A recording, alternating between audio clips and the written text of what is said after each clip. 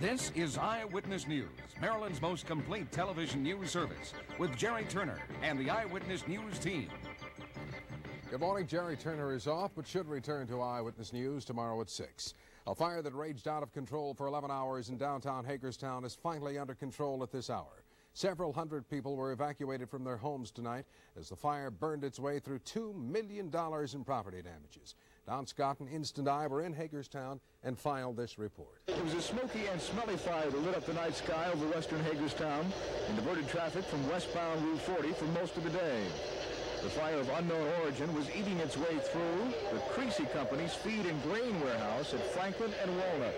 The fire got its start sometime between 10.30 and 11 o'clock this morning, but at 9 o'clock at night the fire was still raging and not under control, and it had rung five alarms. Well, of course, it's a warehouse, and there's many, many and varied types of materials. And uh, once a fire gets started in a building of this nature, it spreads very rapid. You know, the, the rapidity was uh, terrific. And of course, uh, there's so many hidden areas and fire can burn in, and it's been very hard to control. More than 150 firemen from all over western Maryland and nearby Pennsylvania and West Virginia, too, poured hundreds of thousands of gallons of water on the stubborn blaze, and still flames peeked through. One fireman had a heart attack. Many others passed out from exhaustion and possibly from fumes coming off burning pesticides that also caused some evacuation of nearby homes. This was purely uh, precautionary. Um, we were told that there, there possibly was some uh, insecticide involved. So uh, we immediately ordered all of our people into Scott Air Packs and uh, we any, anywhere the uh, air was carrying the smoke, we uh, had the public evacuated and set up uh, an emergency shelter. Okay, no, the firemen got their first real break around 10 p.m., where it seemed the fire would soon be under control. In Hagerstown, Don Scott, Channel 13, Eyewitness News. Earlier Monday in Baltimore, a group of firefighters racing to battle what turned out to be a false alarm never quite made it to the scene. The race to the bogus alarm ended abruptly at Gwynns Falls Parkway and Windsor Mill Road when a car reportedly pulled into the intersection and was hit by the fire engine. The car hit a tree, bounced back toward the fire truck, which ran over an embankment and crushed the car. The driver of the car is in critical condition at this hour in the shock trauma unit. Four firefighters were also injured. There are high hopes tonight in many quarters of the world that peace may be reachable in the Mideast. Most, if not all, of this hope based on the just concluded Israeli Egyptian meeting this weekend. And tonight we've learned from Egypt that Israeli leaders were supposedly pushing Egyptian President Anwar Sadat to draft and conclude a peace treaty on his visit to Jerusalem. Sadat is said to have refused the offer, reiterating that his trip was aimed at reconvening peace talks in Geneva. At any rate, the Egyptian president savored a joyous welcome as he returned home to Cairo Monday night.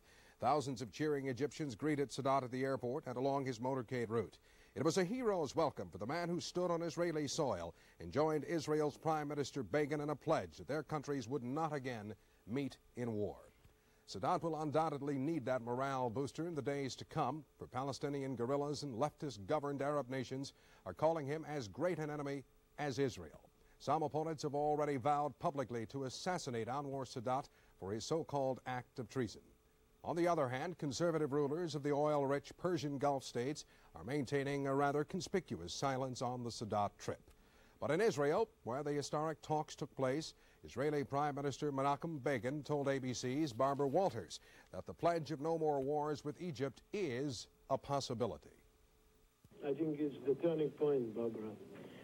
You remember when I addressed the Egyptian people, I said, let us give a silent ode one to another. No more war, no more bloodshed and no more threats. And uh, we reached the point we can say that uh, perhaps the era of wars in the Middle East passed. Let us hope forever. When will the Geneva conference take place? Well, it can still take place before the uh, year 1970. It's not sure because time uh, becomes shorter. We now are already the last week of November. But you think that we will have a Geneva conference by the latest January or February of 1978? I hope so, yes. President Sadat also expressed this opinion, and I think uh, there is a good chance that the Geneva conference will convene quite soon. The Carter administration is holding back a final assessment of the weekend events in Israel. Prime Minister Begin and President Carter talked by phone this afternoon for about 10 minutes, and the Israeli leader is said to have thanked Carter for making the Sadat meeting possible. There was another big meeting going on over the weekend, the National Women's Conference in Houston. And we'll tell you all about it next on Eyewitness News. And Steve Frazier begins a special five part series on unemployment, the longest line.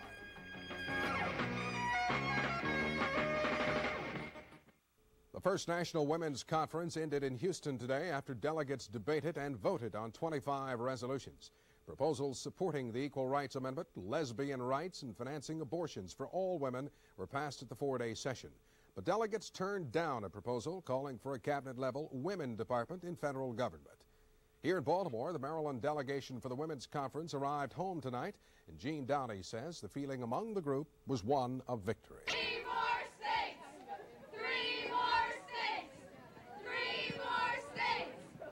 Over 100 Maryland women represented the state at the conference in Houston this past weekend. Spectators and delegates returned to Baltimore tonight on this Delta flight. The feeling was one of relief as well as victory, since most of the delegation supported the major resolutions passed at the conference. There were six people who were who were going to vote no on the question, uh, so that made 25 who voted in favor of the question. Uh, overall, for the for the total conference, we expected that that issue would split the conference the widest. It did, in fact, not do that. Uh, we had many more people voting pro-choice than we had anticipated, and those of us who favored it were really delighted about that. There were many issues important to women discussed at the conference credit, welfare, the ERA, but few resolutions were passed unanimously. Do you think that uh, perhaps the political influence of this uh, conference was diluted because of, of the boisterous, even though uh, minority opposition to some of the issues? I think to the contrary. I think it was important for our credibility as women to have a minority position that was heard so that, that we could show politically there was a dialogue that took place. Both sides had an opportunity to express their opinions and where they stood. And I think in that sense we, we gained credibility. The right wing or whatever side you have for it, some people call them the pro-life, um, did not allow their conference to um, have a mix of people. We in Maryland came up with what I thought was an excellent um, diversity of women that were represented. We had a racial mix, we had an age mix, we had a social mix, we had a class mix, we had a culture mix, and that was what the public law was about. That was what the women's representation was supposed to be about. This was the first government-supported national conference. The delegates say it was the first of many. Gene Downey, Channel 13, Eyewitness News. Another group of women also wanted their grievances heard. So this afternoon, workers at a Westport glass company held a demonstration to protest what they call degrading company policies. armed with signs reading going to the bathroom is a human right, they formed a picket line. Carr-Lowrey workers say they're not allowed to go to the bathroom except at designated break times and lunch periods. They say several workers have already been suspended for breaking that rule. Company officials aren't doing much talking, but they deny that such a rule exists. Staffing is the issue in a protest that's going on at BWI right now. The air traffic controllers say they're understaffed and nothing is being done about it. The controllers say the Federal Aviation Administration walked out of a bargaining session last September, and as a result, controllers have been working without a contract for the past five months. But controllers emphasize their protest in no way interferes with the safety of air travelers because they will not walk off of their jobs. But for many people, it's not a question of walking off the job because some unemployed workers feel there are no jobs. But tonight, Steve Frazier begins an impact report on what they can do to help find themselves a job. And in the longest line, Steve talks about an attitude that's needed for success. Baltimore's unemployment figures are not comforting. We rank second only to Detroit in unemployed teens. Our unemployment rate has risen faster than any other city in the last six years and the economists are warning us not to expect miracles. So why don't we throw out the statistics and get down to business? The business of looking for work when that's never been harder. Early morning at Maryland's Department of Human Resources, the unemployment line. These people are lining up for benefits and help from the many services this agency provides people interested in finding work. But according to the government's own statistics, for every two Marylanders who could benefit from various manpower programs offered here, there's another one who just doesn't care or who won't benefit because of his own shortcomings with regard to finding a job. Note the difference between job qualifications, like what you'd put on a resume, and being qualified for a job search. Many people are talented, but they don't present it well. In fact, local personnel officers tell me that most Baltimoreans can perform the duties required in a job, but they cannot perform the basic steps of a job hunt. And with jobs as tight as they are these days, there's no excuse for not showcasing your talents to their best advantage. We find with the people coming into us that it's not that they don't have qualifications, but that they don't know how to market themselves. They don't know how to uh, do a good resume. They don't know how to go about job hunting, especially with government agencies. Since so many of our jobs in the Baltimore-Washington area are government, a lot of people will just get on the list and then do nothing else. You know, so we, we work with them on those skills too. Jean Carey Blanchard is a career development counselor at Dundalk Community College. Each Tuesday night, she conducts a free class on job seeking called Creative Career Development. The key word, she tells the steelworkers and homemakers and high schoolers and accountants taking her course, is creative. It's important to think of yourself in new ways to present all of your talents to an employer. The first step is one she's allowed us to repeat next time. For then, be ready with plenty of paper and a good imagination. We're going on the premise that you're selling yourself as a product, and only you know how talented you really are. Next time, a tool to make the sales pitch stronger. Steve Frazier, Channel 13, Eyewitness News. There could be more people joining the ranks of the unemployed under a new plan to reduce overcrowding in Baltimore City Jail. Don Scott and Instant Eye say the plan came instead of a scheduled federal court judgment on the overcrowding situation. Federal Judge Frank Kaufman told the court that although he was sure it was obvious to everyone that he thought the overcrowding in the city jail was indeed unconstitutional, at least as far as his personal observations went, he wasn't going to rule that way. Instead, he was going to rule in favor of a plan for reducing the population of the city jail to 1,500 inmates, a plan he labeled the 1,500 plan that had been agreed upon earlier by not only representatives of the state and city corrections departments, but also by attorneys for the plaintiffs, although they wanted a seventh representative added to an agreed upon six-person committee overseeing implementation of the plan to stand up for their side. 250 inmates now sentenced to the Division of Correction will be moved out of the jail by February 1, 1978, and that a total of 700 will be moved out of the jail by May 1, 1978. And that, reduced, that will reduce the jail's population to a little over 1,200. So as a first step, plaintiffs think that that is an appropriate response both from a total number and from a timing perspective to the gross overcrowding of the Baltimore City Jail as a first step. I think that this whole case uh, points up the, the tremendous pressures that our state correctional system is under at this point in time and really reemphasizes the need for not only the, the Biddle Street Correctional Project, but the others that we hope we can get online in 1980. Uh, we were fortunate this time around in that between now and August 1st, we have approximately four major projects coming online that will give us about 600 new correctional beds. Are you satisfied that the deadlines can be met? I think they can. If I didn't believe they uh, they could be met, uh, I don't think we would have been quite as agreeable to uh, to the proposal uh, I'm hopeful that they'll be met, and that's the reason for sort of an oversight committee to ensure that they're met. But all this doesn't mean the federal court is done with the city jail issue. Judge Frank Kaufman also added that he's going to set up a hearing, either late next month or early January, to make sure the agreement worked out today is still working out between all participants. Outside federal court downtown, Don Scott, Channel 13, Eyewitness News.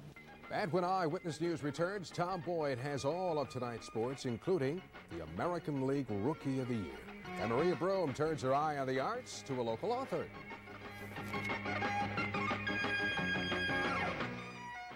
Barbara Mandel, the former wife of Governor Mandel, wants about $19,000 in support payments and other provisions from the governor, and she went to court to get them. She filed suit against her ex-husband and Irv Kovens, Mandel's longtime friend and convicted co-defendant. Kovens was named in the suit because he signed a guarantee for Mandel's obligations in the settlement. Tomorrow night at 11:30, Governor Mandel will appear here live with Jerry Turner. It'll be the governor's first TV appearance since being convicted of mail fraud and racketeering charges. The athletic director at the University of Maryland plans to file a protest over Saturday's halftime show at the Maryland-Virginia game. A guest conductor wearing a striped prison uniform, dragging a ball and chain, directed the Virginia band. The guest conductor was introduced as Governor Marvin Mandel. Tom Boyd, uh, guess who made a Rookie of the Year? I'll tell you this, Tom was runner-up, and I placed about eighth or somewhere in there, uh, but well, you know all. I was uh, I was pleasantly surprised. Were you when, really? uh, I, honestly, I didn't see how they could do it any other way, and I've intoned as much earlier right here on have. Channel 13. Let's look at him. It's such good news. First, Oriole rookie Eddie Murray uh, voted Rookie of the Year award today, finishing uh, just three voting points ahead of Oakland's Mitchell Page. Now, Mitchell, of course, had a lot of uh, promotional consideration, if you will, from the league and other sources, I think. So it's really important that uh, Steady Eddie got him. And Texas Ranger rookie uh, Bump Wills winding up third in the voting today. But bad news for the Birds, too. Reliever Dick Drago, not even a year here, and now he is sucked away by the Boston Red Sox, who also signed former Oriole Mike Torrez, this year's savior for the Yankee pitching corps. Mike will get $2 million spread out over the next seven years. Now, I hope the O's are still uh, willing to take a little bit of my advice at least, and that is don't spend so much time or money on the free agent elite, but let's get what we've already got even tighter than it is, especially now that Drago is out that door and Grimsley and Maddox are eyeing the door. And after the backhanded treatment that California gave or tried to give Harry Dalton, I'm darn glad to see tonight that Harry is split to head up the Milwaukee Ball Club. Yankee general manager Gabe Paul, too, giving serious consideration to leaving New York to take charge and get a piece of the action of the Cleveland Indians. The biggest loss of the day, Minnesota Twins again. Lyman Bostock signed by California, $3 million. That'll happen over the next five years for him. So now back to reality for a moment, the game of football. And as you just had the opportunity to see here on Channel 13 tonight, a dandy game, as I had mentioned at 6, it may well turn out to be. What we're going to see here is Frank Grant, uh, who felt like he got speared in the back by uh, Bruce Laird here in our game here a couple of weeks ago. He should have caught this. In fact, he does have it uh, in his hands at the letters. Uh, Willie Buchanan is the guy uh, pursuing him from Green Bay and giving him a little bit of uh, post-action advice. Watch it again, see what you think. It looks to me like it's in there. He was ahead of Buchanan but could not handle it. Now, what do you want? Joe Theismann caught in a little bit of trouble here. He gets out, or do you want Billy Kilmer? A lot of speculation, as you heard the national guys say tonight, as to Kilmer coming back. I don't think so.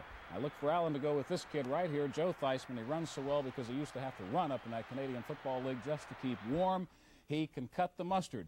And he showed it to us uh, just a few moments later. He finds Mike Thomas snaking his way to the end of the end zone here. The only touchdown in the game, but that's all they needed. The uh, Redskins come away tonight. They're close now. Once again, they're still getting life. 10 to 9, they beat the Packers. They're 6 and 4. That leaves them just a game behind St. Louis and only two behind the Dallas Cowboys in the NFC East. And of course, the Colts, I figure, will meet the Cowboys in the Super Bowl. well, as I reported exclusively this evening here, former Colt backup, uh, now Jet backup, quarterback Marty Domres, saying after yesterday's disastrous start here against the Colts, this was it. He will quit, presumably so at season's end. Lydell Mitchell had thought about being traded from this club several years ago, but not now.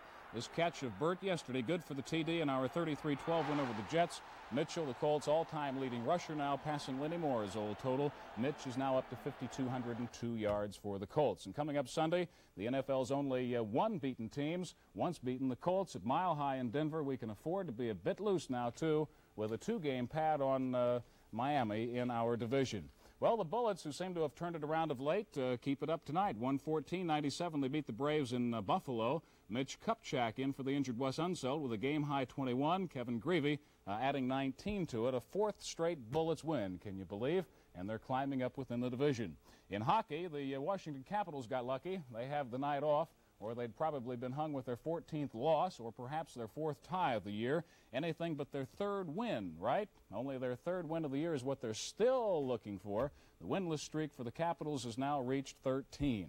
So guess what will be happening down there? Some heads will be falling in the days ahead. You can look for that. Here's what happened at Laurel today. Uh, first in the seventh race, 7-3 Sunshine Beauty and Run 'em Up. In the eighth race, 7-8 Bold Harp and Piscean.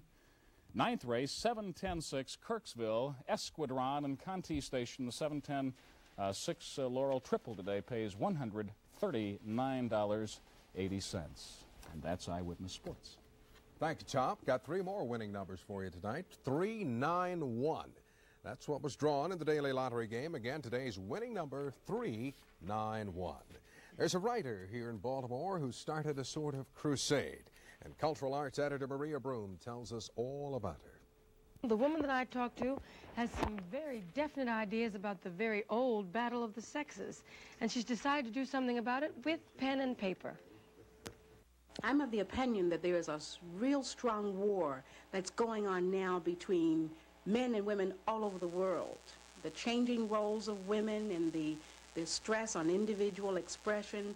A lot of men and a lot of women are just not able to cope effectively with those changes. So I have designed a three-phase program to help stop this war between men and women. The author is Dee Snell, one half of the Black Love couple here in Baltimore. Their whole crusade is to promote more harmony between couples, married or un. Her book, How to Get and Keep Your Man in Spite of Women's Lib, is just her first step on the three-phase program. This book is the, in the first phase, and that is to talk more about the Black Love movement, the relationship between the black man and the black woman. Phase two will talk about men and how they're coping with the new woman. And the second book, by the way, will be for men of all races and creeds and backgrounds and ages. Then the third phase is what I'm calling my global love battle, and that is on the international scene, so that that man and woman in Africa, man and woman in France and England can get the kinds of inspiration and the kinds of tips that they need in order to cope with their changes in their own countries. Does Dee Snell consider herself an authority on the matter of what keeps men and women together? She says she's as much an authority as anyone else who's spent the time in interviewing and counseling thousands of individuals and couples. Through her writing, she's determined to help them. Now, this may shock. So much of the writings in the past have been about past experiences. Mm -hmm. I want to help the man and woman who's coping with each other today and also the men and women who are concerned about how they're going to face each other and cope each other, cope with each other successfully tomorrow. You can get the book, How to Get and Keep Your Man in Spite of Women's Lib, at several of the college bookstores, as well as at the bookstore in Mondawmin Mall. Next on Eyewitness News, Bob Turk, and we hope some drier weather, but I kind of doubt it. Plus, we'll show you a lady who finally had her lifelong dream come true.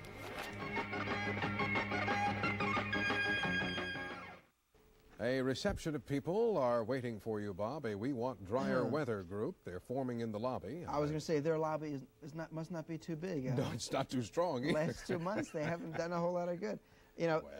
It has been raining quite a bit the yeah, last month or so, and a lot of farmers, believe it or not, having some problems getting the uh, corn out of the fields. You know, they need that for feed this winter because uh, the fields are just so wet they can't even get the machinery in. It's had a lot of problems. We did need the precipitation because we were still below normal for the year, but uh, I guess you got to take the good with the bad. It looks like we're going to have a rather moist week shaping up. Currently, we do have uh, some drizzle, 53 degrees, that's 12 Celsius, humidity 84, the winds uh, west-southwest at 7 or so, barometer 30.23. It continues to fall just a little bit. We have a frontal system which is approaching the region right now, a cold front. There's some cooler air behind the front. Uh, earlier today, I mean, this air was downright frigid over parts of the northern Great Plains. Most of the real cold stuff has moved to our north over Quebec and Ontario.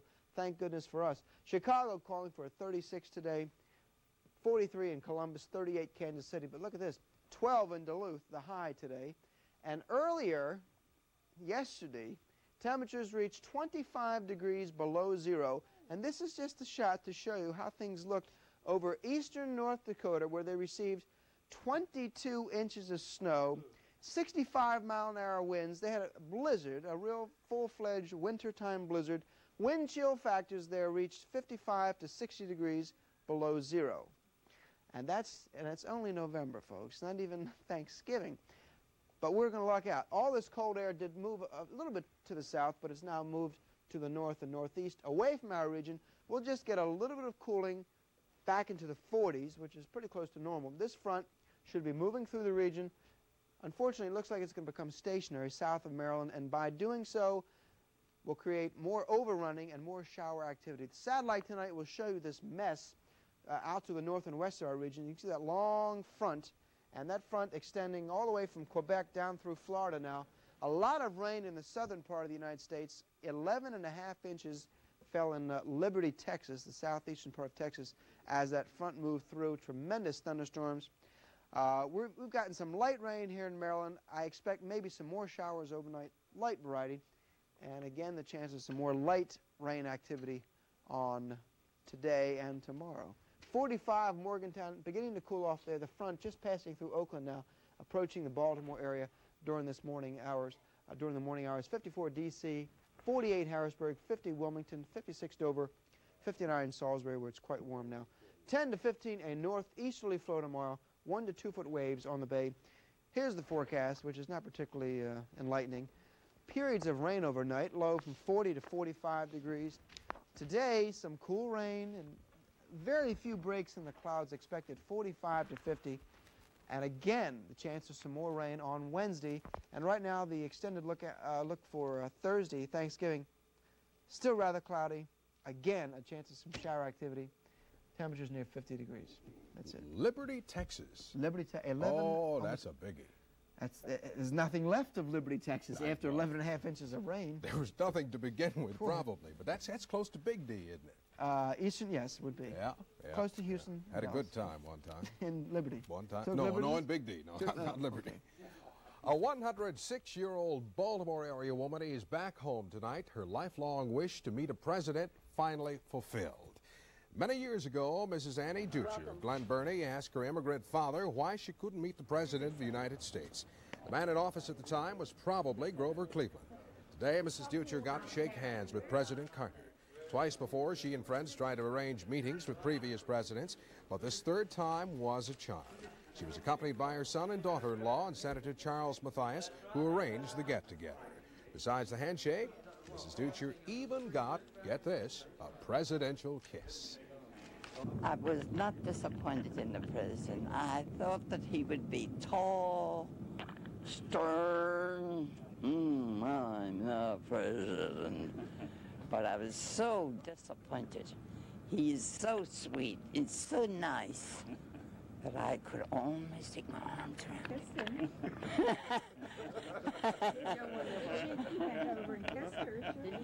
and I got a sweet kiss from him, one that I will take to my grave. With the presidential meeting out of the way and her first plane ride some six years ago, Mrs. Ducher said her only ambition in life now is to get a brand new body. Gee, I put in a request for that three weeks ago. Wonder what took her so long to realize. Well, at any rate, that's the way it goes. Thanks for joining us. For Tom Boyd, Bob Turk, Jerry Turner, and the entire Eyewitness News team, I'm Al Sanders. Good morning.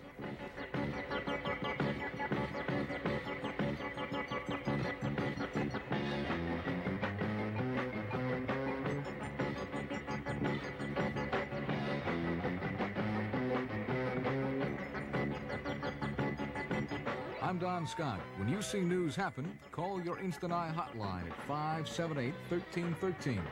Now, Channel 13's Instant Eye can be anywhere you send it.